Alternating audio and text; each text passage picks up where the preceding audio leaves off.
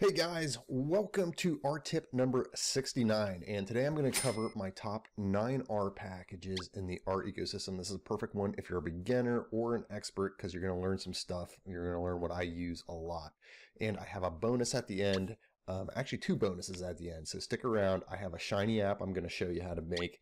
And I'm going on top of that, I'm going to give you the opportunity to check out a free R masterclass uh, it's 40 minutes and it covers a ton of great stuff. So stick around to the end. I'm going to give you the details on both of those. Okay, so let's dive into it. The first thing you need to do is if you want all of this code that I'm showing you, uh, sign up for the weekly R tips. It's a newsletter that I run and I send you the code each week. And it also gives you access to the GitHub repo where you can download this and you can download uh, what do I have 69 of these now so there's 69 R tips that you get access to and it's free so sign up. Uh, details are in the video notes. Uh, first pack, this is the Tidyverse. And what this does is it's a, what's called a meta package.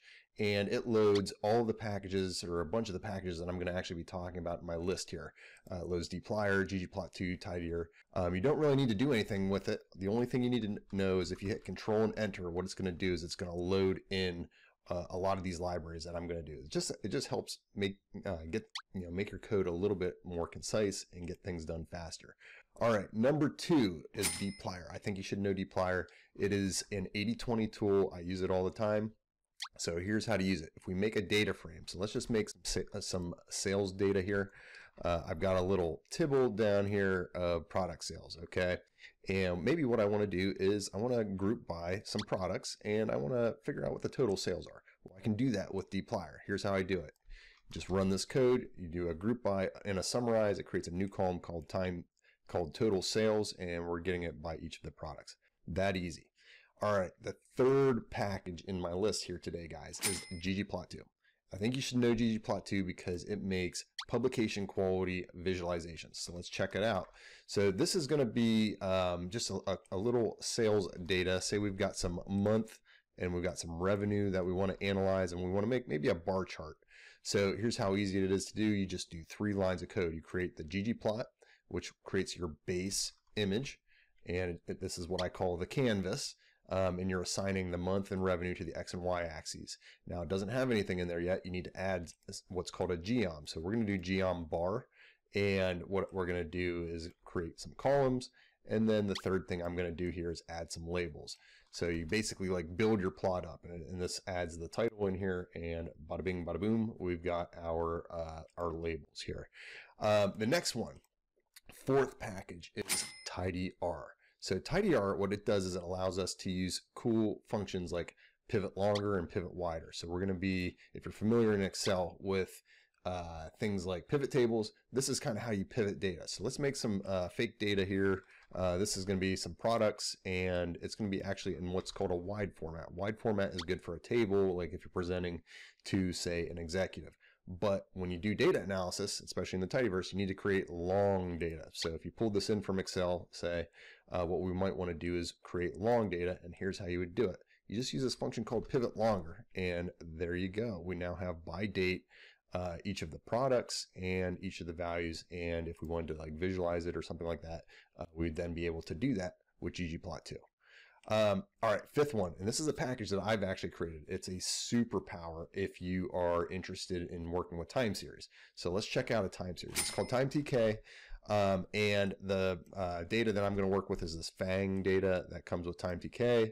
You got a bunch of symbols. Um, this is some stock data, and what we're going to do is just quickly visualize it. So check this out um, I'm going to group on the symbol column and then we're going to look at the date versus the adjusted. So this is going to use a plot time series function and it's group aware. So we know that we're grouping on the symbol and here we go.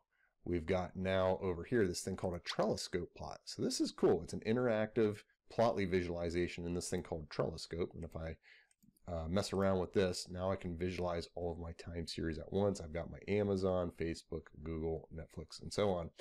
The next one, sixth one, is ReadR. So ReadR is a package for reading data. So if we have, say, like in our file system here, um, I've got in my top R, R packages, number 69, I got this little data folder, and I got a Walmart, uh, a little CSV of sales data.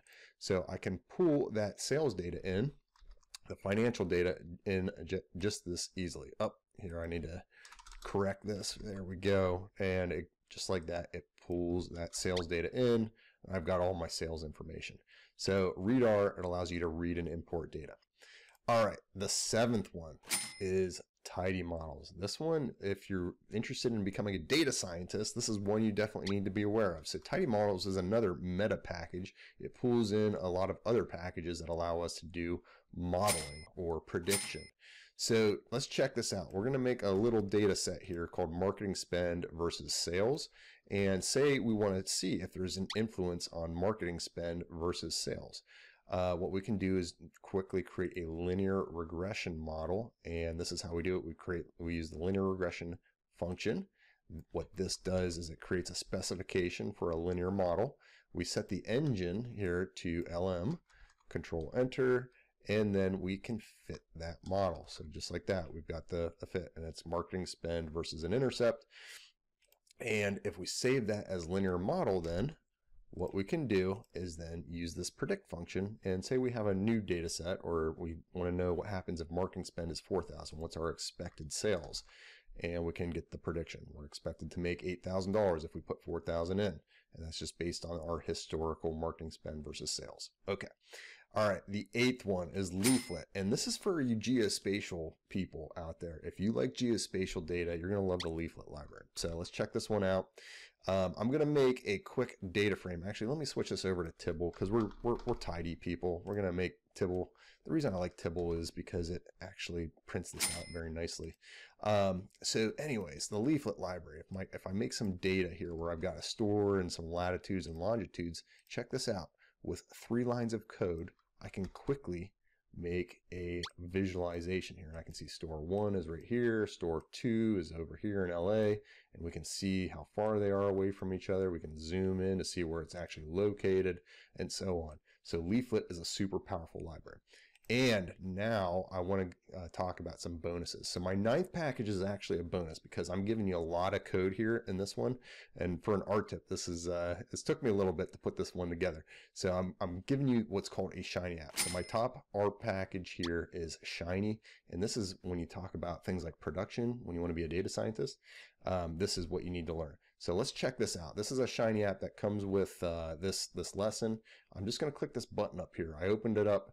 Um, it's actually right here. I, am going to click the Run App button and make sure I save my selected. And there we go. We have now a Shiny app. And this is the using that same leaflet package. And now we have some stores in here and each store has uh, some sales values to it. So uh, you can see down here, we've got some sales values to these. And if I filter, the cool thing about uh, this is that we can filter in and hone in on uh, the uh, interactively locate stores based on how much their they've the revenue they've done with us. Okay, so back to my top R packages. Now you've seen the nine that I like the most. Um, especially if you're a beginner, um, even if you're an expert, these are the ones that you know you should uh, look to fill in your gaps with. Bonus number two, though, if you want to learn more and if you want to get to know what I can do for you, uh, I have a free masterclass and what it covers is the top 10 secrets to becoming a six figure data scientist. It is 40 minutes long and it is jammed with, jam packed with value. What I cover, I cover everything, things that I talked about in here today, but even more and in more depth, things like time series, things like uh, how how to actually run a data science project, how to use this thing called Shiny uh, that we had talked about even uh, a little bit, but even some of the more advanced stuff that you can do with Shiny. So it's really good. Um, check that out, and that is a free way to learn more with me. Um, I'll put the link in the notes for my free R-Track masterclass. All right, that's it for today. I will see you soon. Uh, take care, and uh, we'll we'll have another R Tips newsletter here in a week or so.